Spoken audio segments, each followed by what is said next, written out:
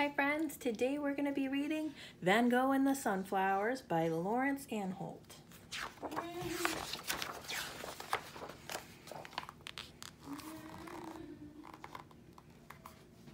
Every day after school, Camille ran through the sunflowers to meet his father, who was a postman. Together they would lift down the heavy sacks of mail. One day, a strange man arrived in Camille's town. He had a straw hat, a yellow beard, and quick brown eyes. I'm Vincent the painter, he said, smiling at Camille. Vincent came to live in the yellow house at the end of Camille Street. He had no money and no friends. Let's try to help him, said Camille's father. So they loaded the cart with pots and pans and furniture for the yellow house. Camille picked a huge bunch of sunflowers for the painter and put them in a big brown pot. Vincent was very pleased to have two good friends.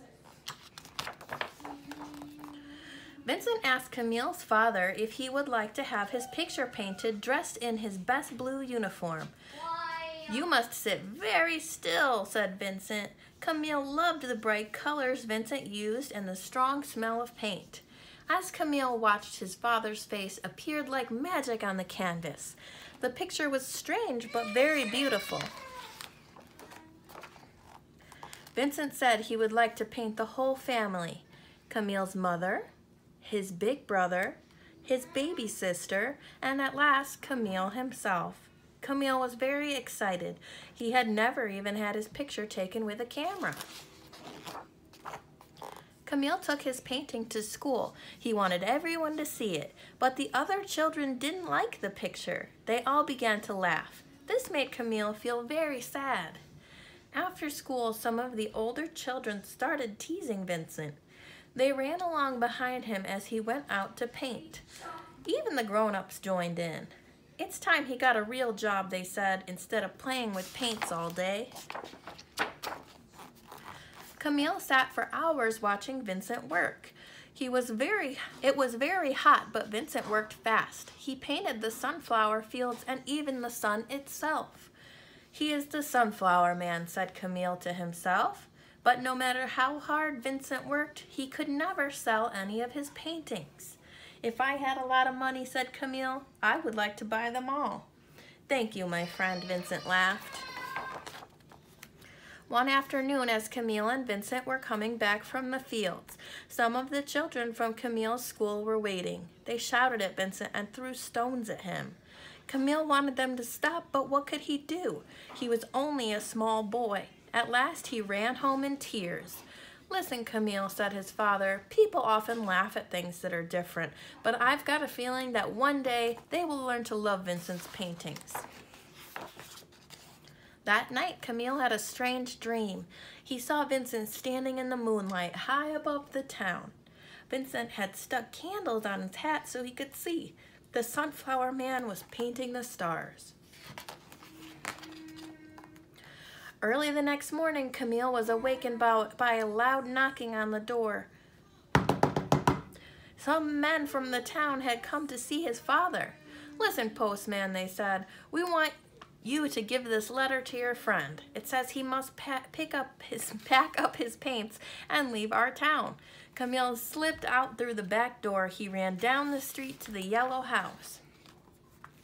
It seemed very quiet inside. Then Camille saw the sunflowers he had picked for Vincent that had all dried up and died. Camille felt sadder than ever. Vincent was upstairs packing his bags and he looked very tired, but he smiled at Camille. Don't be sad, he said. It's time for me to paint somewhere else now. Perhaps they will like my paintings there. But first, I have something to show you. Vincent lifted down a big picture. There were Camille's sunflowers, bigger and brighter than ever. Camille looked at the painting, then he smiled too. Goodbye, sunflower man, he whispered, and ran out of the yellow house and into the sunshine. Camille's father was right. People did learn to love Vincent's paintings. Today, you would have to have a lot of money if you wanted to buy one. But now people all over the world go to museums and galleries just to see Vincent's paintings of the Yellow House of Camille and his family. The especially and especially the picture of the sunflowers, so bright and yellow, they look like real suns. And that is the end. I hope you enjoyed Van Gogh and the sunflowers. How about, real quick before we go, I can show you some of Vincent's artwork. Here's a self-portrait. That means Vincent painted this picture of himself. Here's a picture of Starry Night, his most famous painting. Isn't it beautiful? Here's a picture of white roses in a green vase.